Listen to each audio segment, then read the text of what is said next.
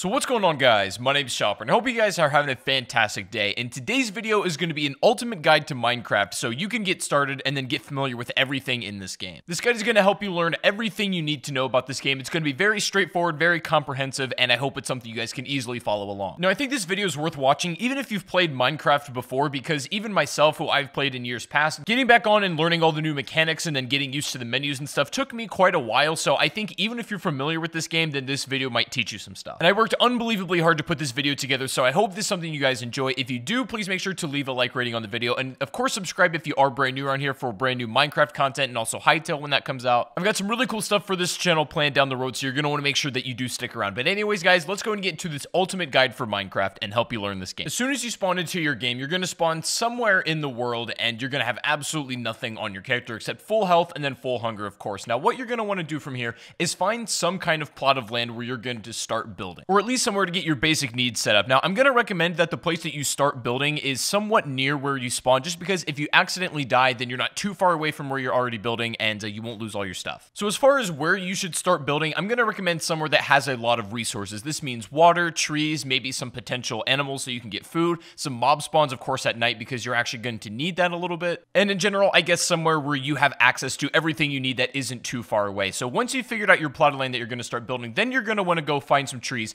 and get wood. Now, you're definitely to want a little bit of wood, especially when you're starting out, because you're to need to build a crafting table first of all, and then you're also to probably want enough to make some sort of little structure, at least for the first night, as you're not to have a whole lot on your hands because you only have a very limited time to start building this stuff. But once you have some wood, then you can start building your crafting table. Now, this is the most fundamental item you need to build everything else in the game. So you're to take your wood that you got from the trees, and then you're to go ahead and build some planks. And you can do this by putting it inside the four square grid that's right by your character. And once you have all of your planks built, then you can go ahead and then put them back in that four square into a pattern that looks like this, and it should build your crafting table. Pretty straightforward, pretty easy. Now, from here on out, as soon as you place your crafting table down on the ground somewhere, you now have access to all of the craftable items in the game, and the recipes for all these items can be found in this green book, or if you know them by heart, then you won't need the book. Now, as soon as you got this crafting table built, the first item that you're gonna want to build yourself, the, the very first thing you want to go for is a wooden pickaxe. And this is pretty simple to build. You're gonna want to make sticks, which is very simple from your planks, and then putting these together in the crafting table just like this should make yourself the wooden pick. Now, this is going to be your very first starter item, and it's going to help you get access to cobblestone. Now, it's going to come back into play what I said at the beginning of the video of being in an area where you have access to resources, and this includes some kind of cave, or at least somewhere where you can get cobblestone pretty easily. Now, if you cannot find it just anywhere around,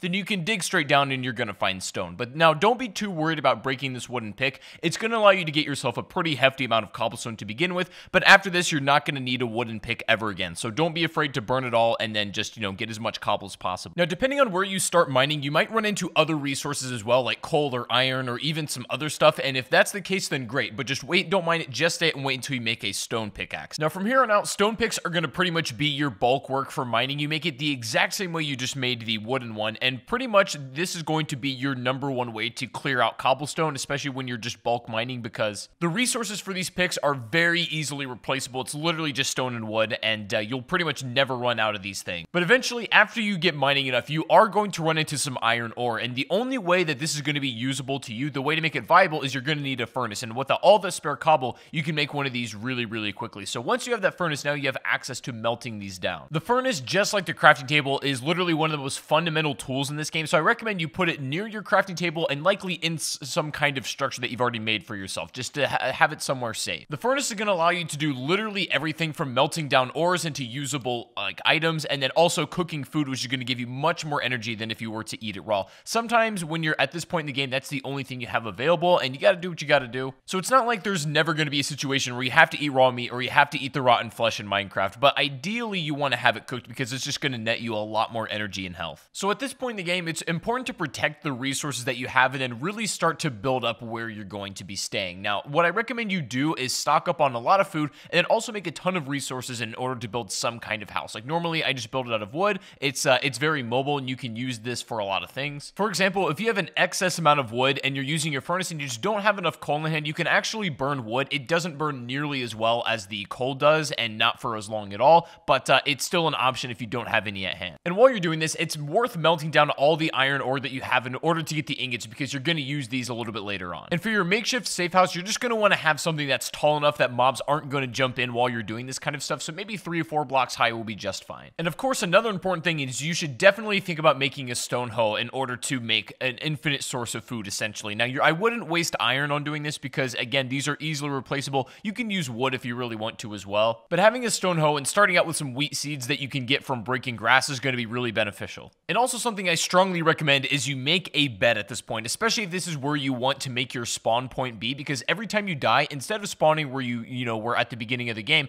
as soon as you lay in your bed for the first time, this will be your new spawn point. And of course, you can only sleep at night or when it's thunderstorming, and also there cannot be too many enemies nearby or else you won't be able to sleep either. You can bring your bed with you if you start traveling and set up like makeshift camps. If you want to change your spawn to somewhere else and be a little bit closer to like a big mine or something, you can do that as well. Just don't take it into the nether. So when setting up your wheat farm using your stone hoe, ideally you're going to want to sort of till the ground that is touching the water because these are going to grow the fastest when you plant your seeds there. Now, it's not required that you put it up against the water, but they are going to grow faster if the dirt blocks are in the water. So that's just something to keep in mind. It can be a little bit scuffed, like just the way that you plant it, if you're going to be moving it pretty soon. But if you want to have like where you're going to be staying permanently, then you can organize it a little bit more, fence it in, and have water running in between each dirt block. Like you, there's a lot of different ways you can set up that are going to yield different results. But uh, what's important here is the fact that this is going to be like an infinite resource of food that you can just make bread with. And so it just takes a little bit of time and your attention to take care of it. And uh, of course, you're not going to want to step on these blocks either as you're taking care of it, but uh, it'll be an infinite source of food and you can definitely stock up. You can use the wheat just to make ordinary items like bread, but you can also save it up and then, you know, go for other ingredients and items to make something like a cake, which is going to last a bit longer. Now, at this point in the game, with all of your basic needs set up, this is where the game starts to get really fun because now you can take it in any direction you like to. For example, this would be a good spot in the game to get bone meal from a skeleton, which is really, really easy to obtain. And then you can find a wolf out in the wild, tame it, and then it'll become your companion for as long as it's alive. There are countless animals that you can become friends with, and since I got on this game after the update, there's a bunch of new animals that I've never seen before, and that was really cool to see. The advantage to having a wolf, though, is that they'll follow you, especially when you're out in battle, and they'll attack whatever you're attacking, so they're definitely like an extra help in that regard. Or you could also take this opportunity, since maybe you don't have the biggest house and the biggest setup yet, you could basically take down everything and bring it with you, and then you could go off on your own adventure, maybe find a bigger cave to mine and go for diamonds and gold. What I typically like to do at this point in the game is just make sure that I have like a steady stream of resources coming in, you know, that includes iron, coal, that includes food, basically everything that's going to keep you alive and keep you advancing,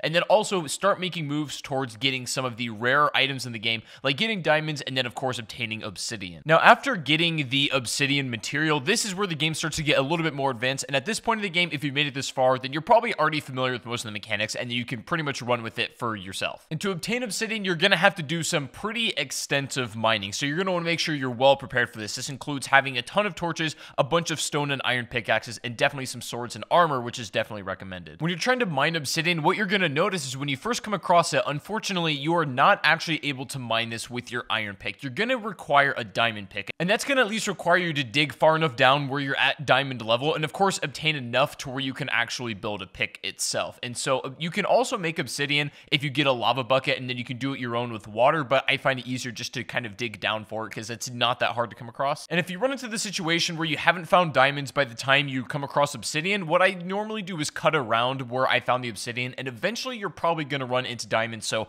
I wouldn't worry too much there. And of course, since diamonds are especially rare, if you do find it, you're going to want to make sure you take care of. What's nice about this game, though, is that once you've kind of dug out far enough where you found diamonds already, it's not too hard to keep finding more. So once you initially find your first ones and you can kind of chain off of that, then uh, you should be in good shape just to get more as well. Now, for whatever reason you are struggling to come across diamonds no matter how much you're mining, I made a video of the top five best ways and easiest ways to find diamonds in Minecraft, so you can go check out that video if you're having problems. But if you're there long enough and you're doing everything right, then you shouldn't have any problems whatsoever. And also, you're going to run into a lot of redstone, and you can get really, really creative with this item if you so wish to. But just as a beginner and as a starter point, it's really nice to make something like a clock and also a compass for Minecraft. The compass is going to allow you to travel much further distances without getting lost, and you can safely do it basically by following wherever your house would be, and you can go off and venture wherever you want in this entire world, and then make your way back eventually using this compass. If you want to go a step farther, you can also make a map, which does require a little bit more materials, but it's definitely worth it if you want to go that route as well. And also having a boat on hand is never a bad idea because there sometimes are very long stretches of water that can be easily crossed using a boat, but uh, are not easily crossed any other way. If you've done everything in this guide up to this point so far, then you should have a steady stream of resources, a bunch of excess stuff on hand, such as iron, coal, all that sort of stuff, stuff. And then you should have all of the basic tools you need to travel anywhere you like, and then a decent house setup as well.